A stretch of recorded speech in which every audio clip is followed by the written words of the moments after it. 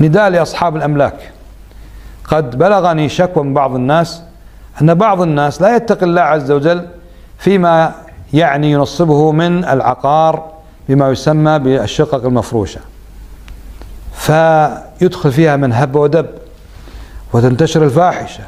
والله يقول في كتابه الله يقول في كتابه ولا تقربوا الزنا إنه كان فاحشة وساء سبيلا. الله يقول في كتابه والذين لا يدعون مع الله إلها آخر ولا يقتل النفس التي حرم الله إلا بالحق ولا يزنون. ومن يفعل ذلك يلقى أثاما. يضاعف له العذاب يوم القيامة ويخلد فيه مهانا. فما يجوز التعاون على الإثم والعدوان من أجل كسب المال وتأجير الشقق هكذا عشوائيا لمن أراد أن يفسد لمن أراد أن يعصي الله عز وجل. هذا أمر خطير جدا.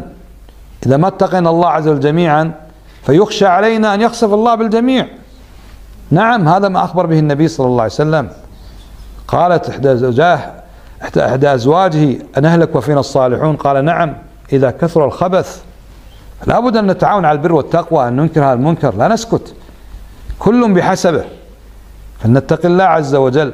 ولا نشوه سمعتنا ولا سمعة أولادنا ولا سمعة بناتنا ولا نجعل هذه البلاد مرتعا لمن أراد أن يفد إليها ليرتكب ما حرم الله عز وجل. هذا أمر.